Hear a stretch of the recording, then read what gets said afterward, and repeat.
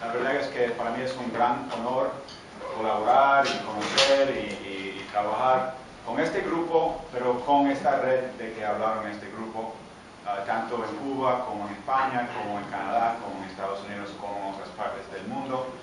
Ah, yo conocí a la, ma- la gran mayoría de esta gente que conozco ahora en persona ah, a través del internet, a través de leer los blogs, hacer comentarios. Y hay uno en, particu- en particular que debo reconocer al principio, que no está aquí con nosotros, pero en espíritu desde, desde España eh, nos, nos acompaña, que se llama Gabriel. Uh, no, no, no voy a decir un apellido, pero muchos conocemos a Gabriel por ser un comen- comentarista constante en la blogosfera de voces, pero también hasta en la Joven Cuba trata de hacer comentarios si no, si no se han borrado. Ah, y Gabriel eh, debe eh, ser mencionado por mí porque lo que voy a compartir ahora es un trabajo conjunto que yo he hecho junto a Gabriel. Eh, empeza- empezamos a trabajar juntos sin conocernos, sino a través del internet. Pues, eh, eh, tuvimos la idea de escribir un libro. Entonces estamos en el proceso de, de escribir este libro sobre eh, eh, la blogosfera cubana. Um, ¿De qué estamos hablando teóricamente? Uh, muchos ya han hecho estudios uh, comparativos, históricos, y es un fenómeno ya muy común y mucho, que va mucho más allá de, un solo ejemplo, aunque poderoso y muy interesante, de lo que pasa en Cuba eh, con voces cubanas. Por ejemplo, dentro de Cuba hay otras redes ciudadanas como voces cubanas, quizás un poco más jóvenes, pero que funcionan en, muchas, en, en muchos sentidos de, eh, eh, de la misma manera. Y, y para mencionar dos, hay uno que se llama ah, Global Voices, que es una red mundial que tiene como propósito un propósito similar, aunque no es lo mismo, pero similar. Y hay unos dos o tres blogueros en Cuba que participan en Global Voices y son posts que también se, ha- se hacen traducción voluntaria. Hay otro grupo que es un equipo que he estudiado y hasta que he hecho entrevistas eh, con el fundador. Este es el grupo de Havana Times.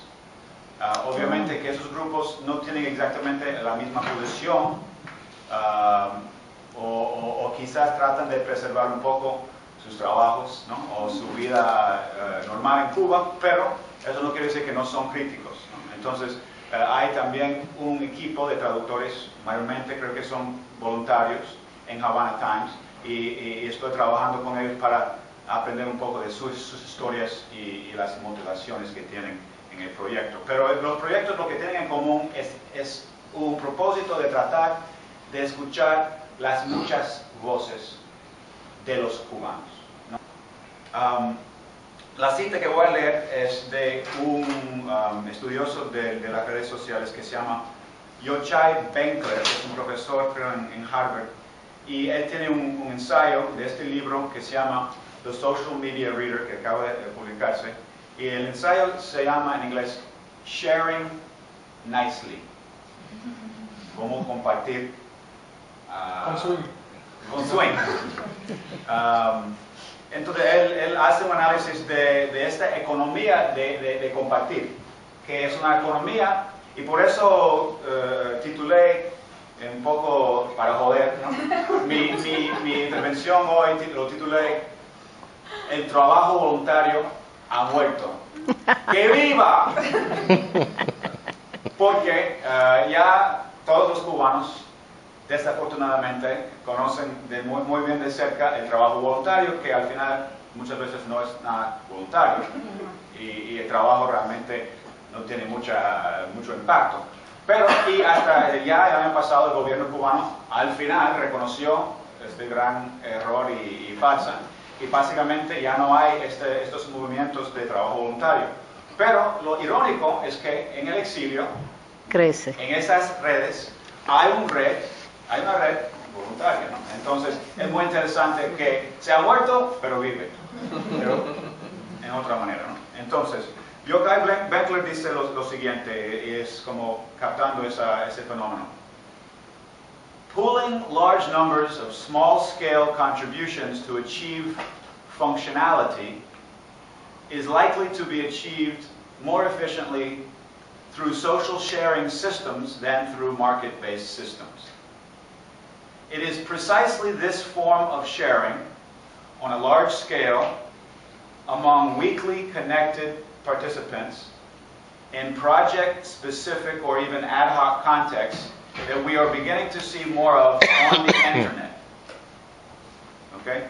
Um, entonces, ahora um, menciono mm, dos o tres términos que tienen que ver con eso y después ustedes pueden ir a Wikipedia, que es un fenómeno de, de eso, ¿no? de, de, una red uh, voluntaria internacional sin fines de lucro, pero que ha producido un, un, un, recurso enorme de información, un recurso valioso de información.